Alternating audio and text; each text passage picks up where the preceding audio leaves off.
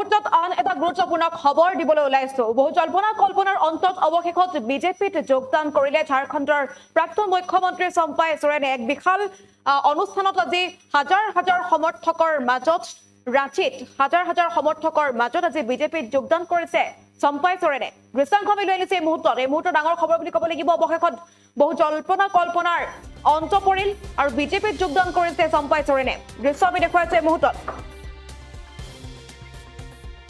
আৰু অৱশেষত চম্পাই চৰেনে যোগদান কৰিছে বিজেপিত। আৰু আজি ৰাঁচীত এক বিশাল অনুষ্ঠানত পুত্ৰ আৰু হাজাৰ হাজাৰ সমৰ্থকৰ সৈতে তেওঁ দলটোত যোগদান কৰা দেখিবলৈ পোৱা গৈছে। সেই দৃশ্য আমি দেখুৱাবলৈ চেষ্টা কৰিছো এই মুহূৰ্তত ঝাৰখণ্ড মুক্তি মৰ্চাৰ প্ৰাক্তন নেতা চম্পাই চৰেনে যোগদান কৰিছে বিজেপিত।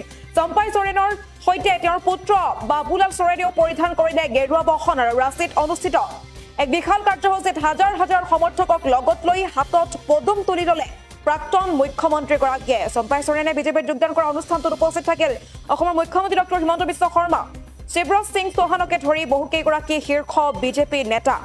আৰু ঝাৰখণ্ড মুক্তি মৰ্চাত গুৰুজী শিবু চৰেনৰ পাছতেই মুখ্যমন্ত্ৰীৰ পদত অধিষ্ঠিত হৈছিল হেমন্ত চোৰেন আৰু তাৰ পাছতে হেমন্ত চোৰেন যাব লগা হৈছিল কাৰাগাৰলৈ। আৰু খালী হৈ পৰা মুখ্যমন্ত্ৰীৰ আসন আসনখনত বহুৱা হৈছিল চম্পাই চোৰেনক। কিন্তু হেমন্ত চোৰেন কাৰাগাৰৰ পৰা ওলাই অহাৰ পাছতেই মুখ্যমন্ত্ৰীৰ পদৰ পৰা চম্পাই চোৰেনক পুনৰ এবাৰ আঁতৰাই দিয়া হৈছিল আৰু পুনৰ মুখ্যমন্ত্ৰীৰ পদত অধিষ্ঠিত হৈছিল হেমন্ত চোৰেন আৰু এই কথাত ক্ষোভিত হৈ পৰিছে চম্পাই চোৰেন। অৱশ্যে হেমন্ত চোৰেনৰ নেতৃত্বত গঠন কৰা নতুন চৰকাৰত তেওঁক মন্ত্ৰিত্ব প্ৰদান কৰা হৈছিল যদিও এই কাৰ্যক দেখি আহ, চম্পাই চোৰেন কিছু ক্ষোভিত হোৱা দেখিবলৈ পোৱা গৈছিল তাৰ পাছতে চম্পাই চোৰেনে ছচিয়েল মিডিয়াৰ যোগে প্ৰকাশ কৰিছিল যে তেওঁ এই ক্ষেত্ৰত অপমানিত হৈছে আৰু ফলত এইটো স্পষ্ট হৈ পৰিছিল। যে চম্পাই চোৰেনে ঝাৰখণ্ড মুক্তি মৰ্চাত বেছি দিন আৰু নাথাকিব।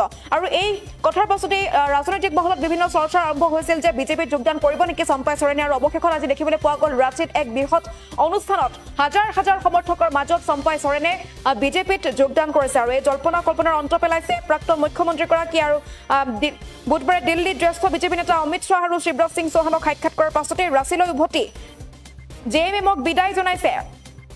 আৰু বিজেপিক গ্ৰহণ কৰিছে। গেৰুৱা বসন পিন্ধিছে। চম্পাই চৰেনে দৃশ্য আমি দেখুৱাই আছো। ঝাৰখণ্ড মুক্তি মৰ্চাৰ প্ৰাক্তন নেতা চম্পাই চৰেনে আজি বিজেপিত যোগদান কৰিছে। চম্পাই চৰেনৰ সৈতে তেওঁৰ পুত্ৰ উপস্থিত আছিল। পুত্ৰ বাবুলাল চৰেনেও পৰিধান কৰিছে গেৰুৱা বসন আৰু ৰাঁচীত অনুষ্ঠিত এক বিশাল কাৰ্যসূচীত হাজাৰ হাজাৰ সমৰ্থকক লৈ হাতত পদুম তুলি ল'লে প্ৰাক্তন মুখ্যমন্ত্ৰীগৰাকীয়ে। আৰু চম্পাই চৰেনে বিজেপিত যোগদান কৰা সেই অনুষ্ঠানটোত উপস্থিত থাকিল অসমৰ মুখ্যমন্ত্ৰী ডক্টৰ হিমন্ত বিশ্ব শৰ্মা। শিৱৰাজ সিং চৌহানকে ধৰি বহু কেইগৰাকী শীৰ্ষ বিজেপি নেতা।